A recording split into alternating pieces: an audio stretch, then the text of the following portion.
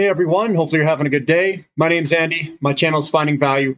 Uh, I was scrolling through Twitter. Uh, John Quakes is a guy who posts a lot of things, and I'd like to share it on the channel.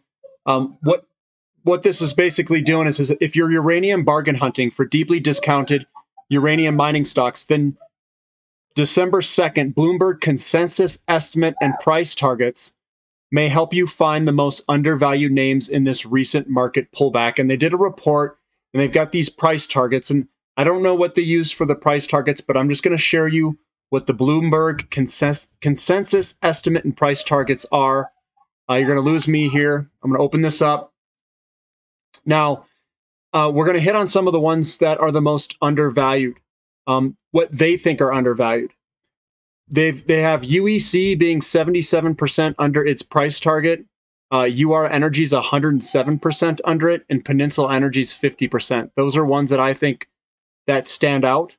Uh, NexGen Energy's uh, 62% under its price target of 924. It's almost a it, it's a good increase there.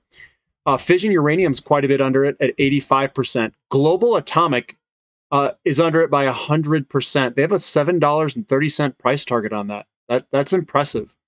Uh, American Lithium's 40% under. GoviEx is 64% under. UEX, 74% under it.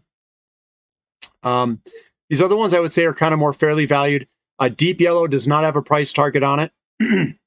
uh, neither does Forsys Metals, Western Uranium, uh, Energy Metals. They don't have any of the uh, price targets on it. There's another page here. Uh, IsoEnergy and Encore Energy are both uh, 70% and 67% under, or 66%. Um, so that's those are both very good. Uh, I don't know what this one is. Azimut Exploration, 124% under its price target. Uh, Consolidated Uranium's getting a nice 72% under its target. Skyharbour's under it, 76%. Uh, Blue Sky Uranium's 109% under its price target.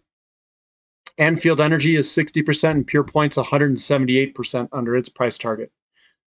They've got the inventory funds. Yellow Cake is 38% under, and Sprott Physical is 56% under its price target. And Uranium Royalty is 40% under its price target. now, do do I do I put a huge weight on these price targets? I don't. Uh, I really don't. And let me see here. The other one, if we just want to look at here, it says in situ comps. This is SEV per pound of U3O8. Uh, this is their ES, USD uh, enterprise value divided by pound, which is your market cap. Uh, this is your enterprise value here. Here's your total reserves and resources that that they have uh, here. So this is your your your dollar per pound um, calculation and that's kind of what i i lean a little bit towards that and i see perhaps what that dollar per pound and some of these guys if they can um, go from a developer to a producer you're going to notice that your your enterprise value per pound in the producer category is far greater than the developers usually and then eventually these prices will migrate towards the producer price when the developers are developing their mines and get close to production status. So, looking at some of these and looking at the EV per pound resource, the average here is 639 and the average here is $2.60. And the ones that I kind of overweighted myself, and this is just my opinion, is GoviEx uranium uh, because it's 81 cents a pound. Deep Yellow is 82 cents a pound. Bannerman is at uh, about a dollar a pound. Uh, so these are the ones that kind of I was going in. I have a little bit of UEX um, Corporation. I've got Laramide at 92 cents a pound. Notice that I'm going after kind of these ones around a dollar. Forsys Metals is a, do- a dollar two cents a pound, and they may stay um, cheap in relationship to the other um, the, the other producers or and or developers uh, just based off of their location. So that that group may be a little bit cheap, and if it's a higher cost producer, they may uh, have a different pricing valuation in relationship to some of these lower cost producers. I I am attracted to the higher cost producers because I'm a huge uranium bull. So right now, the in my opinion, and what I do is I go after the higher cost stuff uh, that people are like, ah, they're not going to get whatever. That they're not going to be. They shouldn't be priced with this this group. Their their assets are maybe not as good as something else.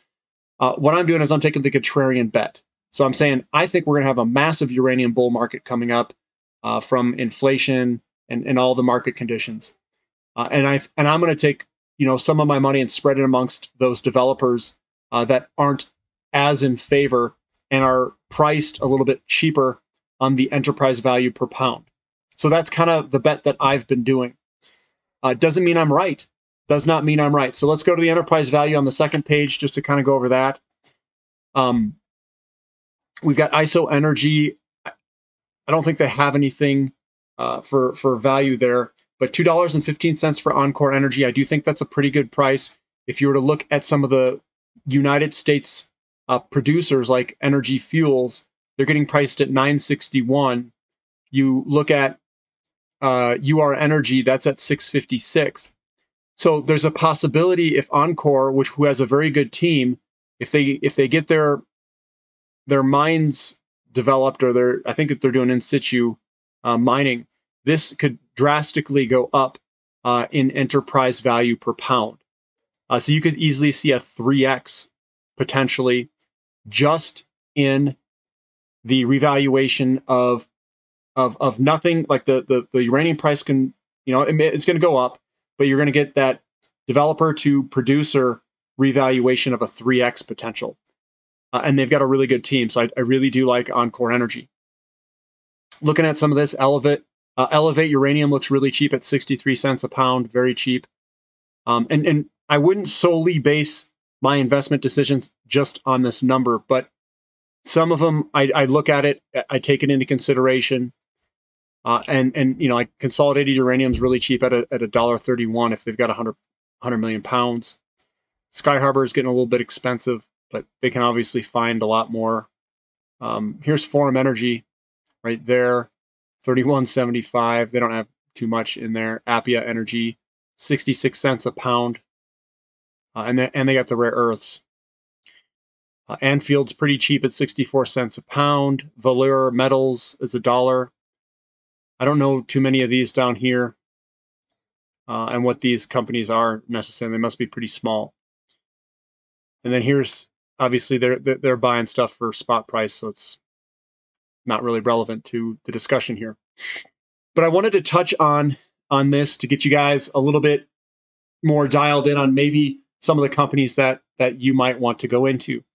Um, my opinion, like you know, looking at some of these companies and the ones that that I like, I still like the African crew, so to speak. Um, something like a Deep Yellow uh, has me really interested. Encore Energy still has me interested. Uh, Uranium Royalty Corp is is probably a, a, decent one if you like that and want more of a royalty. Um, and the reason I, I go after like Deep Yellow is they've got a team that's already done this before, and you're paying 82 cents enterprise value per pound, that just seems like it's like it's a pretty good deal. I, mean, that's that's me, and I'm going to bet on on John Borshoff if he's done it before and he's got a, a pretty good team with him. Well, why wouldn't I? I mean, it's cheap. They've got a team that's done it before, and and hopefully they can uh, get this thing off the ground, and we get a you know a good long pull during this uh, uranium bull market. Fingers crossed. You know, nothing's nothing is a, a, a for sure thing, but if you're going to reduce it, your, your risk, I would bet on, on Deep Yellow myself and Encore Energy. They've got very good teams, very good management, very good CEOs. Why not? That's kind of where I'm at. If you guys like this uh, analysis, give me a thumbs up. Subscribe to the channel if you haven't already. And thank you for listening. This is Finding Value.